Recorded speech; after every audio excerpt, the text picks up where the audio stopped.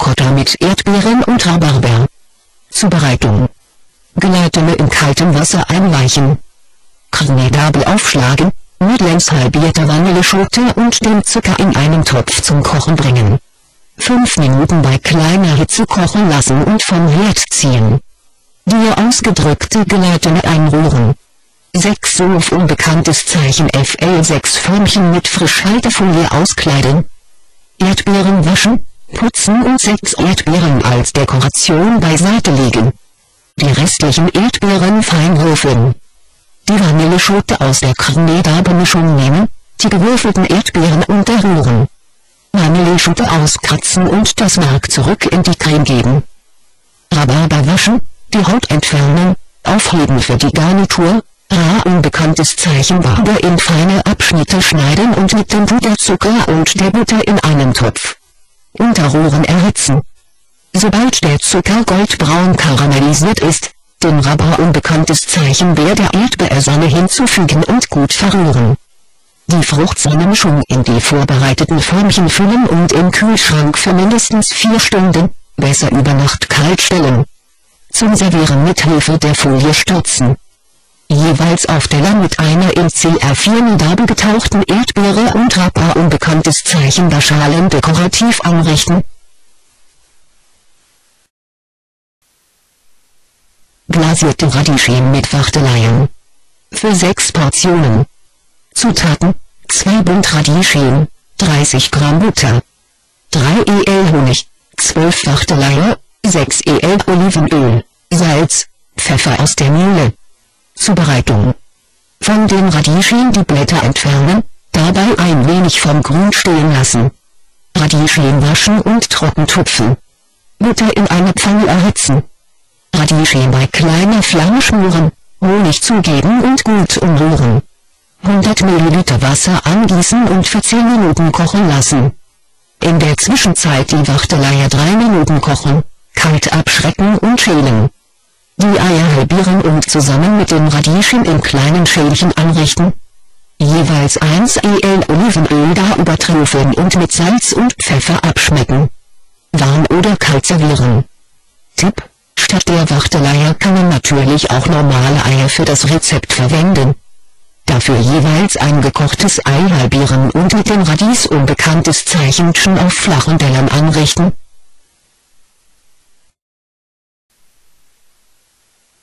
Lammschote mit Rosmarin und Minze. Für 6 Portionen. Zutaten, einen Bund frische Minze, 150 Currycotta, 2 Rosmarinzweige, Salz, Pfeffer aus der Mühle, 6 el Olivenöl, eine Lammschote, ohne Knochen ca. 1,5 kg, 250 Gramm grüne Bohnen, 100 Kuh Zuckerschoten, ca. 250 Kuh Babykarotten, 1 Albergine, 4 Pieperbrote. Zubereitung. Backofen auf 210 Grad Celsius vorheizen. Minze waschen, trocken schütteln, einige Blätter beiseite legen, Restel. Blätter hacken. Ricotta, gehackte Minze und Rosmarin verrühren. Mit Salz und Pfeffer würzen, 200 ml Wasser und 2 el Olivenöl dazugeben. Fleisch waschen, trocken tupfen, in einen Bräter geben, mit der Ricotta-Masse bedecken. Im Backofen eine Stunde garen, dabei alle 15 Minuten wenden. Inzwischen Bohnen und Zuckerschoten waschen und putzen, Karotten putzen und Schäl unbekanntes Zeichen lehnen. Bohnen in kochendem Salzwasser 10 Minuten kochen, nach 5 Minuten die Zuckerschoten zugeben, in Eiswasser abschrecken. Albergine waschen, in mundgerechte Stücke schneiden. Restliches Olivenöl in einer Pfanne erhitzen, Alberginen darin von beiden Seiten bräunen. Pieperbrot in Streifen schneiden, Alberginenscheiben darauf schichten. Restliches Gemüse in die Pfanne geben, eventuell noch etwas Öl angießen, mit Salz und Pfeffer würzen, 5 Minuten unter Rühren braten. Sobald das Fleisch gar ist, aus dem Ofen nehmen, in Alufolie wickeln und 5 Minuten ruhen lassen. Das Fleisch vom Knob unbekanntes Zeichenchen lösen, in Scheiben schneiden. Mit dem Gemüse und den Auge unbekanntes Zeichen dienen Peterbroten auf Tellern anrichten,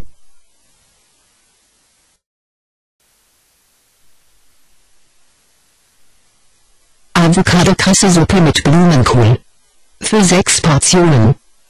Zutaten, 3 Avocados, Saft von einem Zitrone, 3 Schalen Kresse, Salz, ein kleiner Kopf Blumenkohl, 750 ml Hühnerbrühe, 6 el Creme d'Abe, Pfeffer aus der Mühle, 400 Kuh Nordseekrabben, nach Belieben Brunnenkresse zur Garnitur.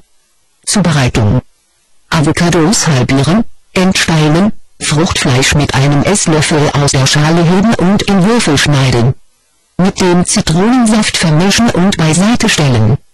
Kresse waschen, in kochendem Salzwasser eine Minute blankieren. Abseihen, in Eiswasser abschrecken und tropfnass im Mixer pürieren. Blumenkohl in Rüschen zerteilen und in der Hühnerbrühe gar unbekanntes Zeichen. Ein paar Rüschen als Suppeneinlage beiseite legen und den restlichen Blumenkohl mit der Brühe und den Avocados zusammen pürieren. Kmedoppen einrühren, mit Salz und Pfeffer abschmecken. Kurz vor dem Servieren die Suppe erhitzen und die pürierte Kresse in die Suppe rühren. Die Blumenkohlrüschen in vierschäligen Vierteil unbekanntes Zeichen legen, die Suppe darüber gießen und nach Belieben mit Brunnenkresse garnieren. Die Krabben als zusätzliche Anlage zur Suppe servieren. Tipp, statt der Nordseekrabben kann die Suppe auch mit Fischzuber unbekanntes Zeichen reitet werden.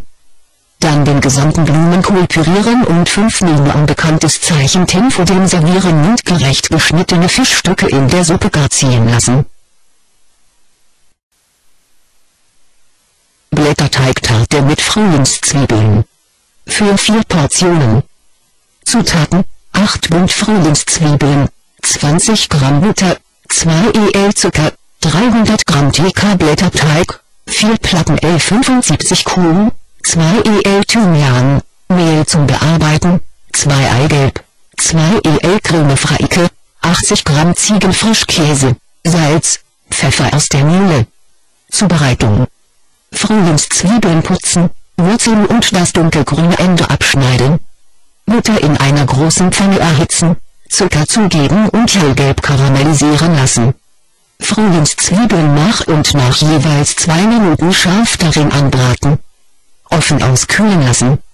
Jeweils zwei aufgetaute Blätterteigplatten mit je 1-2 el Thymian bestreuen und deckungsgleich übereinander legen. Auf einer bemehlten Arbeitsfläche je unbekanntes Zeichen Weils zu einem Rechteck das etwas breiter als die Frühlingszwiebeln sein soll, ausrollen. Auf ein mit Backpapier ausgelegtes Backblech legen. Die Ränder der Platte auf einer Breite von einem Zentimeter dünn mit Wasser einpinseln und in Schlag unbekanntes Zeichen gehen, fest andrücken. Die Frühlingszwiebeln abtropfen lassen, auf den Blättern unbekanntes Zeichen Teigplatten verteilen. Dabei den Rand freilassen. Punkt 1 Eigelb verquirlen und den Teigrand damit einpinseln. Für den Guss das restliche Eigelb, Chili-Freige und Frischkäse zu einer glatten Masse verrühren. Mit Salz und Pfeffer abschmecken. In Tupfen gleich unbekanntes Zeichen mäßig auf dem Gemüse verteilen. Im vorgeheizten Backofen auf der untersten Schiene bei 225 Grad Celsius, Gas 4, Luft 200 Grad Celsius, 20 bis 25 Minuten backen. Auf einer Platte anrichten, mit restlichem Thymian bestreut sofort servieren.